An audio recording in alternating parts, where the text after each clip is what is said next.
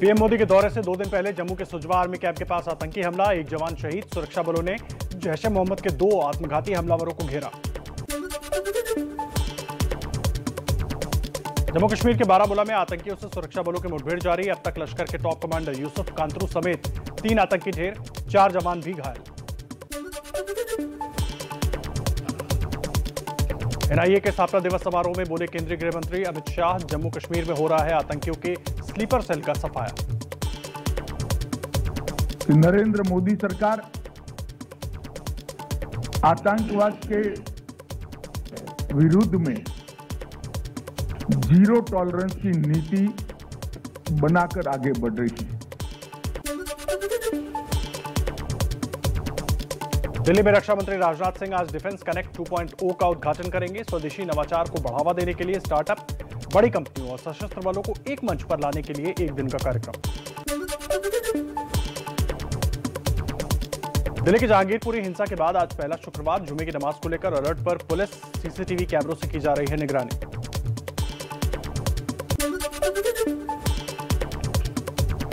जहांगीरपुरी हिंसा पर सियासत जारी, टीएमसी और समाजवादी पार्टी का प्रतिनिधिमंडल आज घटनास्थल का दौरा करेगा। दिल्ली के जागीरपुरी में दो हफ़्ते तक बुलडोजर पर ब्रेक, सुप्रीम कोर्ट का यथास्थिति बनाए रखने का आदेश। कहा कार्रवाई चलती रही तो गंभीरता से लेंगे। दो हफ़्ते बाद अगली सुनवाई। सुप्रीम कोर्ट के आदेश के बाद भी बुलडोजर चलने पर नाराज़गी जताई। सुनवाई के दौरान याचिकाकर्ता के वकील ने कहा जहांगीरपुरी में बिना नोटिस कार्रवाई हुई। एमसीडी के वकील ने कहा, नोटिस दिए गए थे। जहांगीरपुरी में बुलडोजर के एक्शन वाली जगह पर सियासी दौरे, कल कांग्रेस नेताओं का दल पहुँचा, पुलिस ने ज़्यादा आगे जाने नहीं दिया। अजय माकन बोले, खुलेआम कानून तोड़ा जा रहा है।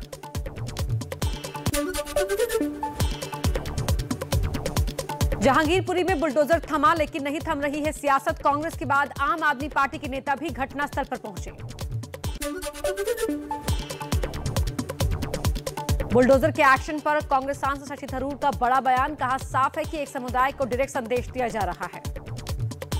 हमें तो लग रहा है कि एक संदेश दे रहे हैं एक समुदाय को कि आप लोग के स्टेटस इस देश में अभी बदल गए हैं और हम तय करेंगे आप किस किस्म से जिएँगे इसमें। जहांगीरपुरी हिंसा और बुलडोजर विवाद के बीच केंद्रीय मंत्री गिरिराज सिंह ने कहा, एनआरसी कानून लागू करने का सही समय आ गया है। जहांगीरपुर इशू में सबसे बड़ी ज़रूरी चीज़ है कि आज देश के अंदर एनआरसी कानून लानी चाहिए और एनआरसी कानून ला करके पूरे दुनिया में हर देश का अपना एक पहचान पत्र है। भारत में भी होनी चाहिए।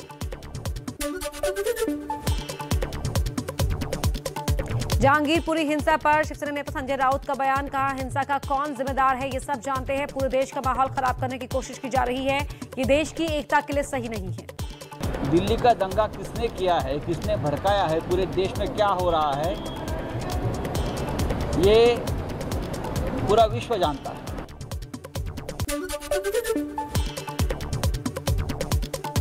कांग्रेस नेता सलमान खुर्शीद का प्रधानमंत्री मोदी पर निशाना, कहा पीएम मोदी को कोई सुझाव नहीं दे सकता।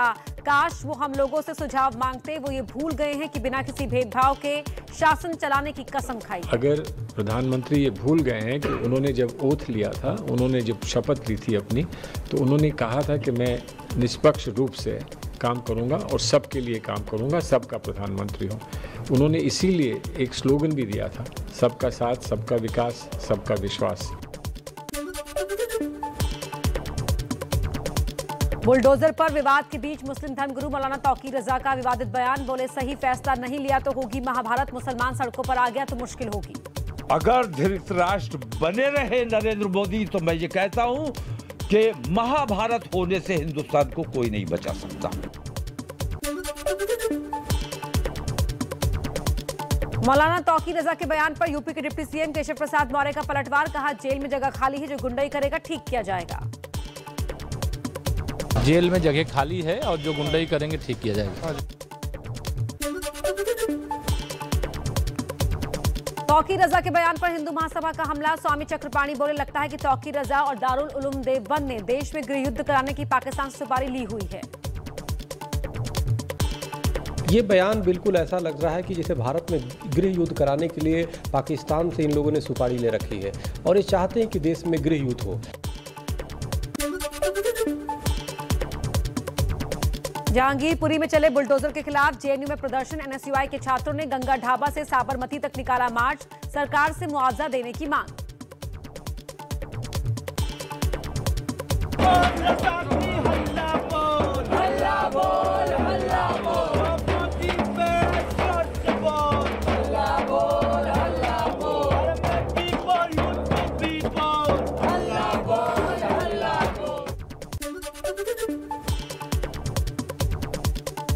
जामिया यूनिवर्सिटी में भी प्रदर्शन, जहांगीरपुरी में बुलडोजर चलाए जाने के खिलाफ सड़कों पर उतरे छात्र।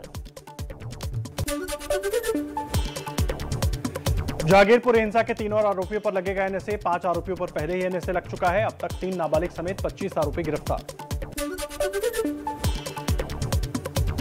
जहांगीरपुरी में दंगे के आरोपी अंसार की एक और तस्वीर, टीएमसी नेता के साथ सामने आई। अंसार बंगाल के पूर्वी मिदनापुर के पार्षद अजीमुल रहमान के साथ दिखा। रहमान ने कहा, फ़ोटो तो कोई भी किसी के भी साथ खिंचवा सकता है।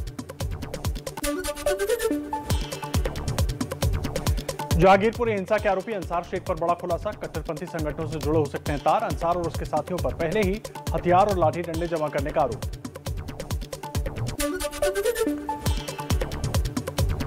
दिल्ली पुलिस का दावा, जहांगीरपुर हिंसा में कई कुख्यात गैंगस्टर भी शामिल थे। 20 ऐसे बदमाशों की पहचान कर तलाश की जा रही है। जहांगीरपुरी हिंसा के आरोपी सोनू चिकना की आज रोहिणी कोर्ट में पेशी, आज खत्म हो रही है चार दिन की पुलिस रिमांड। कर्नाटक के हुबली हिंसा के मुख्य आरोपी समेत आठ आरोपी गिरफ़्तार, हनुमान जयंती के दिन हुबली में भड़की थी हिंसा। महाराष्ट्र के अमरावती से सांसद नवनीत राणा आज पहुंचेंगी मुंबई, कल सीएम उद्धव ठाकरे के घर मातोश्री के सामने, हनुमान चालीसा का करेंगी पाठ। हमने तारीख दे दी है समय बता दिया है और शिव सैनिकों को तैयारी करने के लिए समय भी दे दिया है।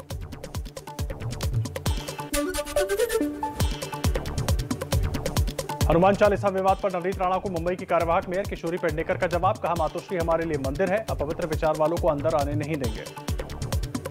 हमारा मातोश्री मंदिर है हमारे मातोश्री के रक्षण ऐसे अपवित्र विचारों से हम नहीं देंगे अंदर जाना। कानपुर में ईद पर सुरक्षा की मांग को लेकर मुस्लिम सामाजिक संस्था ने सीएम योगी को लिखा खत। ईद की नमाज़ के दिन कड़ी सुरक्षा की अपील की। यूपी में लाउडस्पीकर और माइक लगाने की नहीं मिलेगी इजाज़त, सीएम योगी ने दिया आदेश। यूपी में कानून व्यवस्था को लेकर सीएम योगी ने आला अधिकारियों के साथ की बैठक। योगी ने कहा, एक भी पत्थर चला तो अधिकारियों पर होगी कार्रवाई।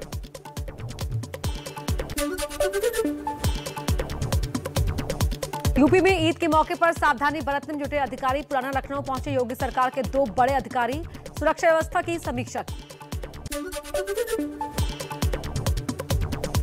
यूपी के शाहजहांपुर में एसपी नेता रोशन लाल की अवैध इमारत पर चला बुलडोजर। अवैध कब्जे की ज़मीन पर बनाया गया था अस्पताल। सुप्रीम कोर्ट में बुलडोजर पर सुनवाई के दौरान केंद्र ने मध्य प्रदेश के खरगोन में अट्ठासी हिंदुओं के मकान तोड़ने की जानकारी देकर चौंकाया। एबीपी न्यूज़ की तफ्तीश में सामने आई सच्चाई। इन मकानों को 7 मार्च को सड़क चौड़ी करने के लिए गिराया गया।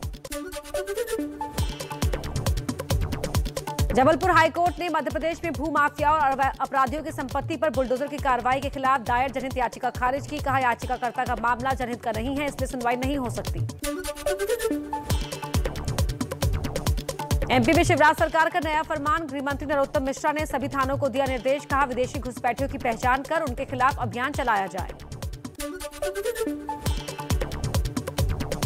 यूपी एमपी के बाद बिहार में बुलडोजर का ज़ोर, बक्सर हत्याकांड में फरार पाँच आरोपियों के घर पर चला बुलडोजर, दो घर जमींदोज। अब बिहार में भी अवैध निर्माण पर बुलडोजर राज्य के भूमि सुधार मंत्री राम सूरत राय ने कहा राज्य के सभी जिलों में अवैध अतिक्रमण पर बुलडोजर चलाया जाएगा। जो बिहार सरकार के जमीनों पर अतिक्रमण कर लिया है वैसे जगहों पर बुलडोजर चलेगा। बिहार के नेता प्रतिपक्ष तेजस्वी यादव का बीजेपी पर हमला कहा बीजेपी जब चुनाव या उपचुनाव हारती है तो ऐसा ही करती है। बोचहा में हार से बीजेपी बौखलाई हुई है। झारखंड के गिरडीह में पाकिस्तान के समर्थन में नारे लगाने से हड़कंप। मुखिया प्रत्याशी के नामांकन के जुलूस में लगाए गए नारे। पुलिस ने प्रत्याशी मोहम्मद शाकिर समेत तीन लोगों को किया गिरफ़्तार। ब्रिटेन के प्रधानमंत्री बोरिस जॉनसन पहुँचे दिल्ली। आज सुबह साढ़े ग्यारह बजे प्रधानमंत्री मोदी से करेंगे मुलाकात। दोनों के बीच कई अहम समझौतों पर होगी चर्चा। ब्रिटेन के पीएम बोरिस जॉनसन का अहमदाबाद एयरपोर्ट से होटल तक भव्य स्वागत हुआ। गांधी आश्रम पहुंचकर चरखा चलाया और बुलडोजर प्लांट का उद्घाटन भी किया। ब्रिटेन के प्रधानमंत्री बोरिस जॉनसन और भारतीय उद्योगपति गौतम अडानी की शांतिग्राम में हुई बैठक। अडानी के नए प्रोजेक्ट को लेकर जताई जा रही है उम्मीद। ब्रिटिश पीएम बोरिस जॉनसन और गुजरात के CM Bhupendra Patel Gandhinagar gift city भी गए। गुजरात बायोटेक्नोलॉजी यूनिवर्सिटी के कार्यक्रम में शिरकत की। गुरु तेग बहादुर के 400वें प्रकाश पर्व पर प्रधानमंत्री मोदी ने विशेष डाक टिकट और 400 रुपए का सिक्का किया जारी। पहली बार सूर्यास्त के बाद लाल किले से देश को संबोधित किया। आज एक बार फिर दुनिया भारत की तरफ़ देख रही है। मानवता के मार्ग पर पथ प्रदर्शन की उम्मीद कर रही है।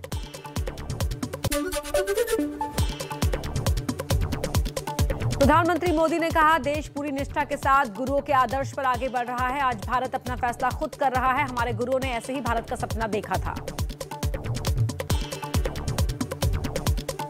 ये भारत भूमि सिर्फ़ एक देश ही नहीं है बल्कि हमारी महान विरासत है, महान परंपरा है। इसे हमारे प्रकाश पर्व के मौके पर लाल किले से सीए कानून पर भी बोले पीएम मोदी, कहा इस कानून से पड़ोसी देशों से आए लोगों के लिए भारत की नागरिकता का रास्ता साफ़ किया है।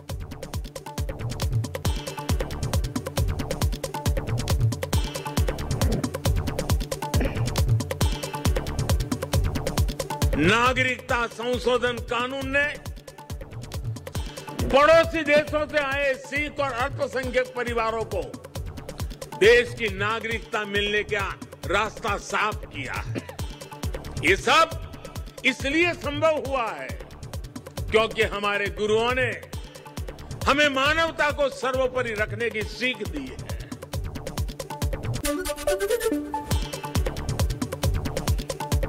पीएम मोदी ने कहा, आज दुनिया भारत की ओर देख रही है। भारत कभी किसी देश के, देश और समाज के लिए खतरा नहीं बना। हम पूरे विश्व के कल्याण की सोचते हैं। बड़ी बड़ी सत्ताएँ मिट गई। बड़े बड़े तूफ़ान शांत हो गए। लेकिन भारत आज भी अमर खड़ा है।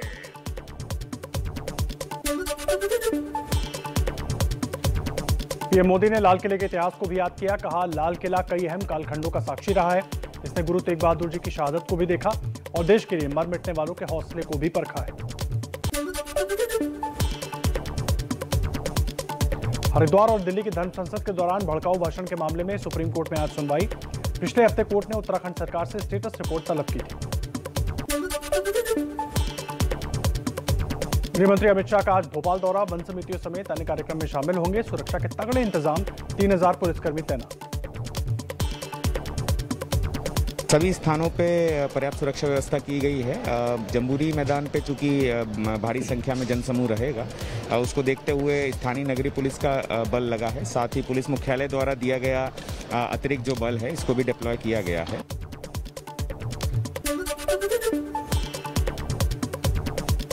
बीजेपी अध्यक्ष जेपी नड्डा का दो दिन का मिशन हिमाचल प्रदेश, आज कांगड़ा में रोड शो और जनसभा करेंगे।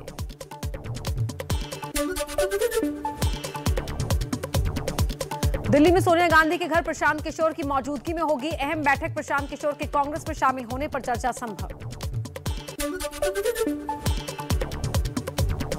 महाराष्ट्र के मंत्री नवाब मलिक की याचिका पर भी आज सुप्रीम कोर्ट में सुनवाई, ईडी की गिरफ्तारी के खिलाफ दाखिल की है अर्जी। जेल में बंद महाराष्ट्र के मंत्री नवाब मलिक के खिलाफ प्रवर्तन निदेशालय ने कोर्ट में 5000 पन्नों की चार्जशीट दायर की, संदूक में रखकर लाए गए थे चार्जशीट के पेपर्स।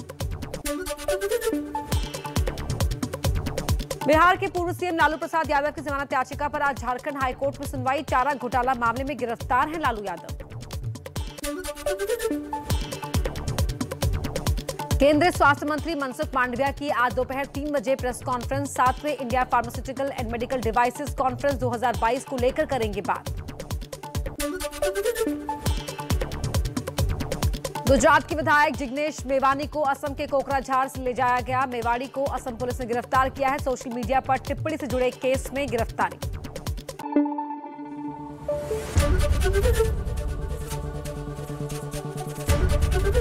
ABP news. आपको रखे आगे।